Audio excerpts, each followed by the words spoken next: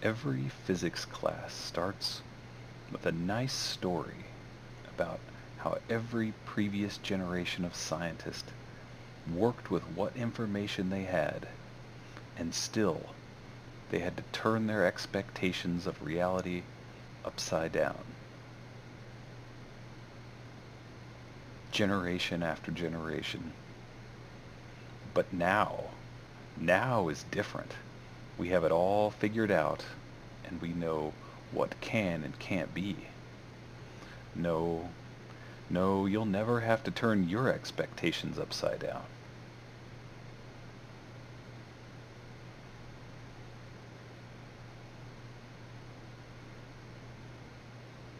Just kidding.